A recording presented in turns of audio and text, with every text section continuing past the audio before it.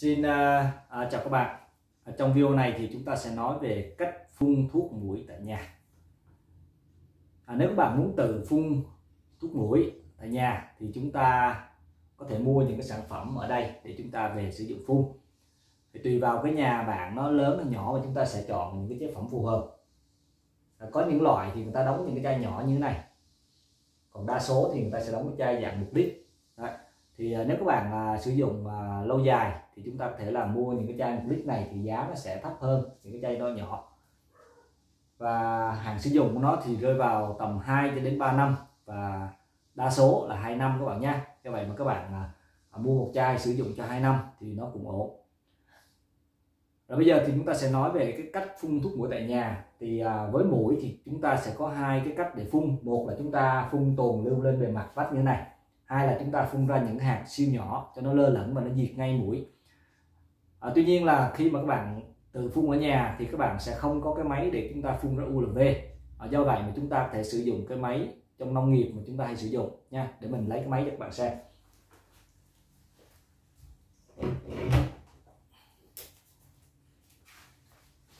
Đây thì chúng ta có thể sử dụng cái máy này.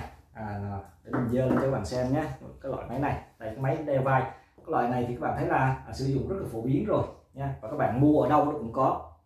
Ngoài thị trường thì chỗ nào nó cũng bán. Thì cái giá máy này nó dao động khoảng tầm từ một triệu cho đến một triệu rưỡi tùy vào cái cái bình ắc quy ở bên trong đó nha. Thì chúng ta người dân thì chúng ta cứ mua cái bình đó về chúng ta dùng. Thì với cái việc phun thuốc mũi thì mà sử dụng cái bình này nha sử dụng cái bình này và sử dụng cái cần này thì chúng ta chỉ có thể phun được tuần lưu nghĩa là chúng ta phun thuốc lên bề mặt và đợi mũi nó bám vào thì nó sẽ chết.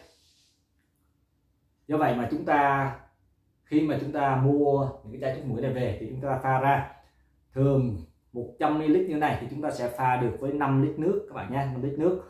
À, có thể một số loại thì nó sẽ pha được nhiều hơn. Do vậy mà à, chúng ta cần phải xem hướng dẫn sử dụng giống như cái loại này. À, Cyber như vậy Cyber Plus thì nó pha tới 16 lít nước nha. 50 ml pha với 8 lít nước có nghĩa là 100 ml một chai nhỏ này nó pha 16 lít nước. Còn những cái dòng khác ví dụ như ba cái dòng này mà các bạn à, à đang thấy đó thì nó chỉ pha với 5 lít nước mà thôi. Do vậy thì chúng ta cứ xem kỹ hướng dẫn thì hiện nay tất cả những loại thuốc đều có hướng dẫn sử dụng rất là chi tiết phía sau. À, khi mà chúng ta pha rồi thì chúng ta phun nha phun và cố gắng là à, phun vào cái thời điểm buổi sáng cho nó mát ha. Và khi phun thì chúng ta cần nhớ là chúng ta đội nón nè à, đeo khẩu trang. Nha, mặc áo tay dài. Và nếu các bạn có thể đeo kính được thì càng tốt nha. Tại vì sao mình nói đeo kính thì đeo kính thì thường nó sẽ bị mờ nha bị mờ. Nó khó uh, khó khăn trong quá trình thao tác. Do vậy mà các bạn có thể đeo kính hoặc không đeo kính. Còn nếu các bạn không đeo kính thì chúng ta lưu ý khi mà chúng ta phun nha. Thì khi mà chúng ta phun thì chúng ta chú ý một cái điểm nữa đó là hướng gió các bạn nha. Tránh trường hợp chúng ta đứng ngược gió thì khi mà các bạn phun lên uh, tường vách hoặc lên cây cối nha thì nó gió nó thổi vào và nó thể vào mắt vào niêm mạc chúng ta thì cái đó là rất nguy hiểm.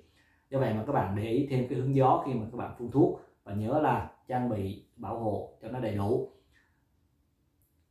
Và nếu lỡ như là thuốc nó có dính vào cái bề mặt da của chúng ta thì chúng ta rửa lại bằng nước sạch nha. Cố gắng rửa nhanh bằng nước sạch thì nó cũng sẽ à, rất là ổn. Thì trong những cái dòng thuốc này thì nó cũng có hướng dẫn là biện pháp cấp cứu khi mà à, bị nhiễm độc hóa chất nha. Thì phía sau nó cũng có tất cả loại thuốc đều có. Thì các bạn à, đọc kỹ hướng dẫn sử dụng trước khi dùng thì chúng ta sẽ sử dụng được thôi. À, về cái cách sử dụng thuốc mũi tại nhà thì các bạn thấy là rất đơn giản nha. Có cái máy mua thuốc về pha ra theo đúng tỷ lệ và phun lên cái bề mặt. Và một lưu ý nữa khi mà các bạn phun thuốc mũi tại nhà đó là tất cả những loại hóa chất khi mà chúng ta phun thì chúng ta tránh là phun vào những cái đồ ăn thức uống ha đồ ăn thức uống rồi những ly tách chén do vậy mà khi mà các bạn phun ở những cái khu vực đó thì hết sức cẩn thận nha. Một là chúng ta phải che lại nha có phải hoặc tấm lông che lại. Hai là chúng ta dọn đi. Ba là chúng ta phải rửa lại vệ sinh lại nha chà lại chà rửa lại tất cả khi mà chúng ta phun xong. Thì về cái thời gian cách ly à, sau khi phun thì chúng ta nhớ là cách ly ít nhất là 30 phút thì có những loại thì người ta sẽ nói là cách ly một tiếng có những loại cách ly 30 phút. À, tuy nhiên tốt nhất thì chúng ta nên nha nên cách ly trên một tiếng trở lên để cho nó đảm bảo an toàn đảm bảo an toàn nha. Và khi phun thì nhớ là không có ai trong nhà nha không ai trong nhà đặc biệt là người già và trẻ nhỏ. Tại vì à, những cái những cái những cái người đó thì à, nó rất là nguy hiểm ha. Người già thì có nhiều bệnh trẻ nhỏ thì nhiều lúc nó không nói được. Do vậy mà nó, nó sẽ à, gặp nguy hiểm nếu như là khi mình phun mà có những à, người già trẻ nhỏ trong à, nhà các bạn nha. Và sau khi phun xong rồi thì chúng ta đợi đợi 30 phút thì chúng ta có thể làm vệ sinh lại nha. Còn riêng những cái bề mặt chúng ta phun ví dụ như tường vách rồi à, à rèm cửa vân vân thì chúng ta có để nó khô tự nhiên để cho thuốc để cho thuốc nó lưu lại trên đó các bạn nha. À, rồi như vậy thì mình à, có à, có một số vài chia sẻ cho các bạn về cách phun thuốc mũi tại nhà. À, nếu các bạn còn thắc mắc hoặc là có những điểm nào cần trao đổi thêm à, thì các bạn à, hãy để lại comment bên dưới video này. À, nếu các bạn muốn mua những cái loại thuốc này thì có thể là liên hệ với mình theo số hotline. Và mình sẽ à, chia sẻ mình sẽ hướng dẫn cho các bạn những cái điều mà các bạn còn thắc mắc nha. À, xin chào các bạn và hẹn gặp lại các bạn trong những cái video sau.